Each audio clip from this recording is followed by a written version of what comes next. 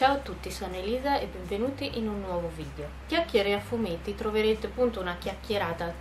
tra noi riguardante una serie, un fumetto, un volume unico che mi ha particolarmente colpita e di cui magari eh, non sempre eh, posso farci una recensione completa, quindi chiacchiereremo riguardante il fumetto, quindi vi spiegherò quello che mi è piaciuto, quello che non mi è piaciuto,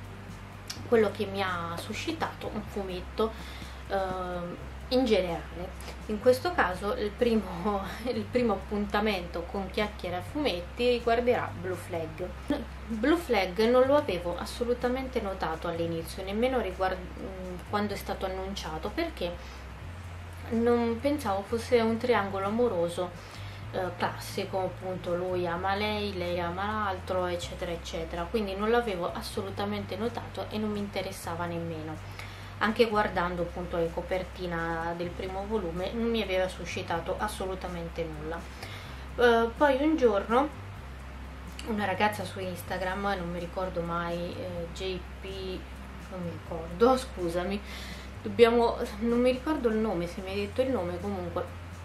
ve lo lascio qui sotto il, il nome su Instagram mi scrive e dice ti voglio consigliare un manga che è Blue Flag poi eh, sono andata a sentire anche i pareri di Cibis The Way e alla fine mi sono decisa, sono andata in fumetteria, io quando vado in fumetteria, se non lo sapete, è un problema perché vado in fumetteria per prendere una cosa e poi ne prendo altre 150 e ho detto va bene dai prendiamo, devo prendere una cosa sola che non mi ricordo quale sia, non mi ricordo, no zucca maionese no, ma sicuramente era un volume Dynit perché vado in fumetteria solo per quelle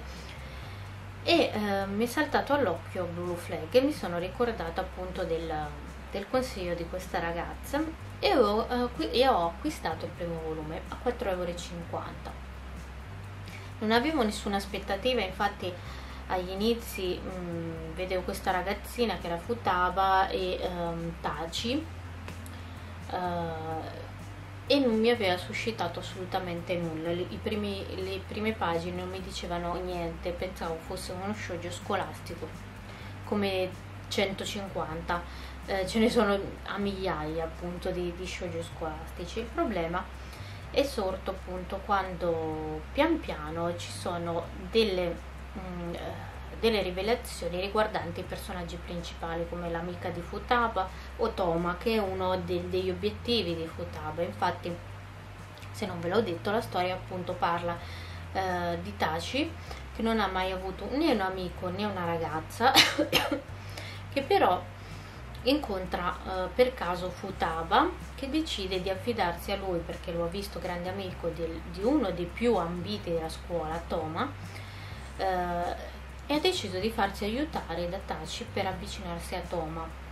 Taci accetta, cerca di farla avvicinare e quindi la storia ruota appunto su Taci che cerca eh, di aiutare Futaba. Non, spes- non spesso riuscirà ad aiutarla, molto spesso perderà la pazienza, eccetera.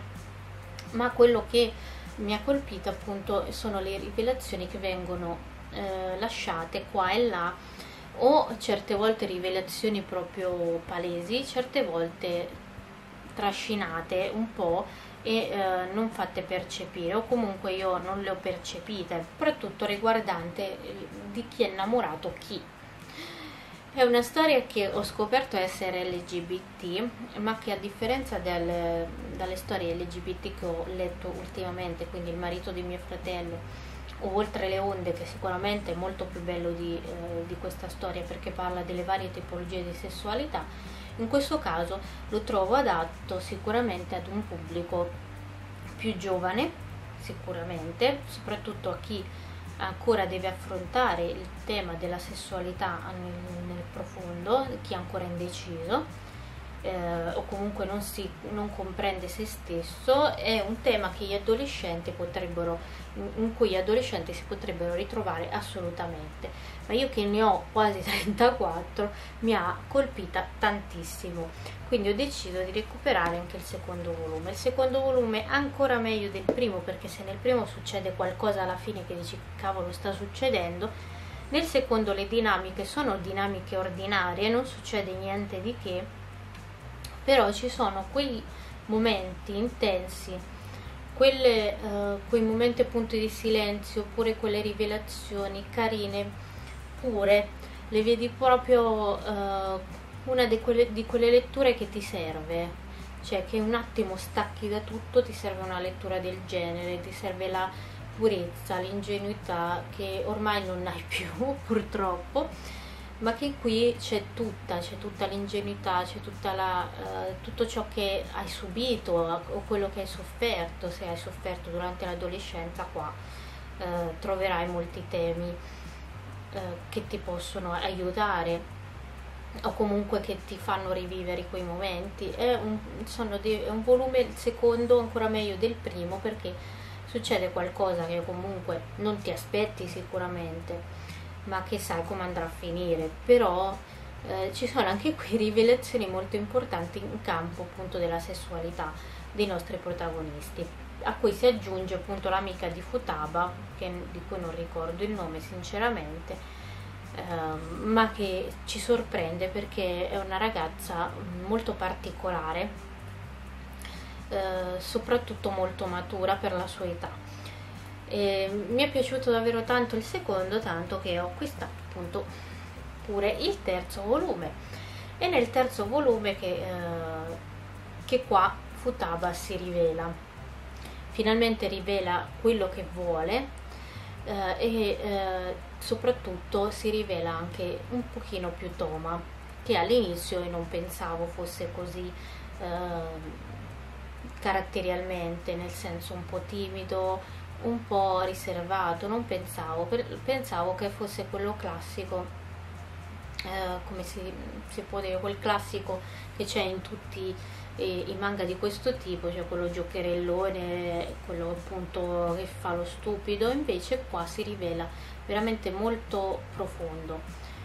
Quello che mi ricorda molto Toma e poi chi sicuramente avrà scusate se mi metto comodo chi sicuramente avrà mm, letto spero per voi perché è una delle serie che amo di più um, Jamin Apollon o Sakamichi no Apollon chiamatelo come volete sempre Edito Planet in 10 volumi che è uscito non, non, so quanto tempo fa ma che ho adorato alla follia ed è uno dei manga più belli mai letti. Vi ritoma, vi ricorderà uno dei protagonisti appunto di Sakamichi no Apollon eh, che è uno dei protagonisti più belli in assoluto io adoro quella serie comunque tralasciando quello che vi invito a recuperarla assolutamente in questo volume Uh, si comprende un po' di più i sentimenti dei nostri protagonisti. Ma cos'è che Blue Flag dà che non, che non ritrovo in altri uh, manga di questo genere? Niente di che, non c'è una storia che dà quei colpi di scena che non ti aspetti, anzi qua ti aspetti tutto, però è quella, uh, quelle atmosfere, scorre bene, l'ingenuità dei protagonisti. So che Futaba non è ma- nemmeno tanto amata, ma io mi ci ritrovo tanto nella imbranatezza di Futaba, e però anche nella sua maturità. Futaba eh, prende coraggio e diventa donna, diciamo, diventa più matura, prendendo una decisione molto, se- molto difficile per lei quindi è una storia semplice, ma molto semplice, però che sta andando avanti in modo da incuriosire il lettore in ogni sua sfumatura. Eh,